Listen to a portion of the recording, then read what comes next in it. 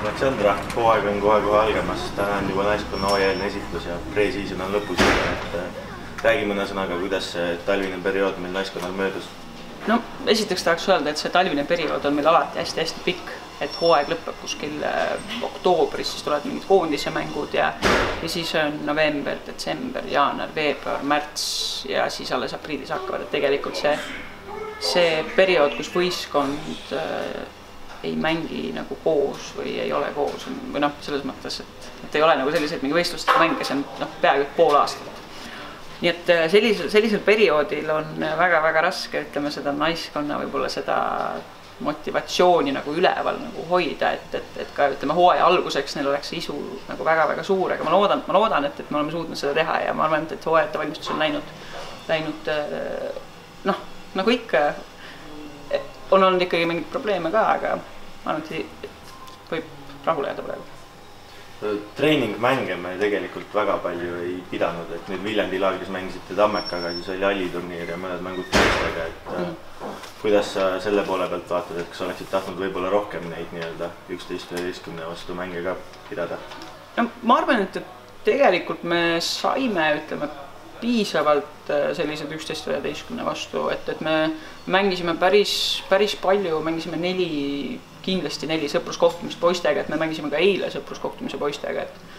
et äh, mängisime äh, peale selle halliturniiriga ükskord Tallinna Kaleviga äh,, Tallinna Kalevi naiskonnaga siis ja ka ütleme, see halliturniir, et ma usun, et ja noh, pluss mängisime ka Tammekaga ka, et, et et ma arvan, me saime päris palju, ainuke asi, millega võib-olla ei ole rahul, on see, et, et hästi paljudel mängudel ei ole nagu äh, ei olnud võib-olla sellist nagu täiskoosseisu, ehk siis äh, kes oli võib-olla haige või kes oli natukene vigastatud või keegi oli kuskil, kuskil ära, et, et siis,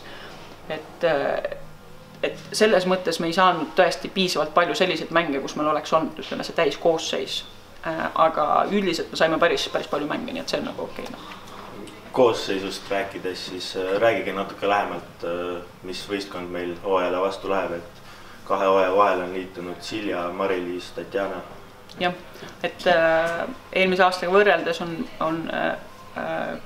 ära läinud Katriin, et, et teda nüüd äh,, tema meiega seda hooaja, hooaja ettevalmistust ei teinud ja hooaega ei alusta ka, aga, aga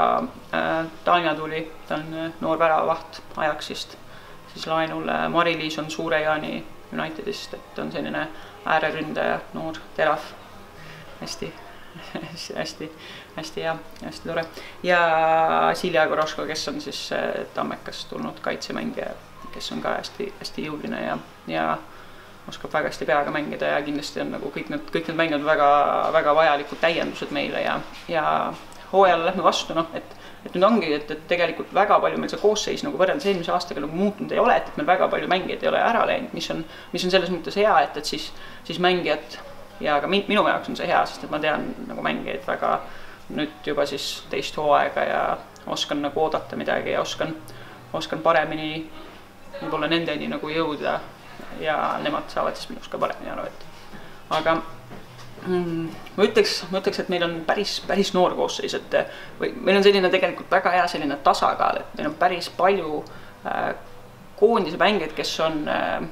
kellel on jah, siin väga palju mänge Flora särgis ja koondise särgis ja ja meil on juurde tulnud äh, noh, erinevatest kohtadest, erinevatest klubidest, erinevatest, ütleme ka siin Flora süsteemist on, on tulnud peale noori mängijaid, kes, kes saavad, kellel on selline, ma ütleks isegi see on, mul on selline privileeg treenida Eesti parimatest tingimustest ja Eesti parimate mängijatega, ehk siis see on, see on, see on reaalselt selline koht ja selline nagu võimalus, mida nad peavad noh, kasutama iga päev, nii et meil on kindlasti paljud sellised nii-öelda noored näljased mängijad, meil on rahulikud, head, kogenud mängijad ja meil on ka sellised mängijad, kes, kes noh, ütleme, nende ühine joon on see, et, et nad kõik tahavad iga mäng midagi tõestada näidata seda, kes on Flora, nii et ma arvan, et meil on, meil on selline hea koosseis. enne mainisid ka, et treeningmängudel siin oli mõningaid haiguseid ja vigastusi, et mm -hmm. kas me läheme laupäevasele mängule vastu võistkonnaga, kus selliseid probleeme hetkel ei ole? meil, meil on veel, ütleme, on paar mängijat praegu sellised, noh, ütleme küsimärgi all ja natukene on ikkagi paar probleemi, aga ma, ma arvan, et, see, see on selline, see on selline olukord, mis on absoluutselt igal võistkonnal enne igat mängu ja et, et ei ole sellist asja nagu ideaalne, ütleme selline, et mul on, okei okay,, ma ootan kuni selle mänguni, et siis on meil kõik korras või. et äh, meil on selles mõttes jah, meil on paar vigastust, meil on äh paar sellist küsimärki, aga, aga noh, meil on nii palju, nii palju mängijaid, kes, kes kõik, kõik tahavad ennast tõestada ja see on, see ongi see, mida, mida on vaja, noh sa alustad teist hooaega Flora naiskonna peatreenerina, et mida sa ootad sellelt hooajalt? ma tahan, et me lõpetaksime selle hooaja paremini kui eelmine või eelmise hooaja, et ma tean, et, et on väga paljud, väga paljud kohad või väga paljud asjad, millega mängijaid nagu jäid rahule ja ütleme pärast eelmist hooaega, ma tean, tean ka seda, et, et on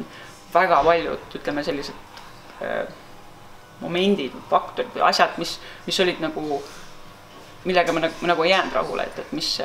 mida me tahame see hooaeg parandada, et me kindlasti tahame oma ründefaasi parandada nagu veelgi, veelgi teha asju nagu noh, ütleme korralikumat kvaliteetsi, me tahame rohkem väravaid lüüa, me tahame oma ütleme kaitsefaasis ehk siis kaitseliini väravahitööd kindlasti, kindlasti nagu parandada, et, et ei ei oleks mingisuguseid arusaamatusi või et me nii-öelda ei ehitaks endale mingisuguseid keerulisi olukordasid, ehk siis meil on ma ütlen nii, et, et meil on nagu soorituseesmärgid ja ma tean ja ma usun selles mõttes nendesse soorituseesmärkidesse nagu nii palju, et, et, et need viivad eh, sellesse kohta, kus iga mängija pärast ükskõik mis mängu saab tulla platsi pealt ära ja ta saab olla rahul ja õnnelik ja see on nagu minu jaoks on põhiline nagu üldse nagu eesmärk või põhjus, miks inimene peab nagu mängima või tahab mängida jalgpalli, et olla nagu tõsiselt rahul endaga ja oma võistkonnaga mis on sinu sõnum nendele inimestele, kes meie naiskonda peaksid tuleval hooajal vaatama tulema mängudele tribüüni peale? Minu sõnum on see, et Floras nagu meie, meie võistkond on, äh, meil on mängijad, kes tulevad igasse trenni ja kes tulevad iga, igale mängule ja panevad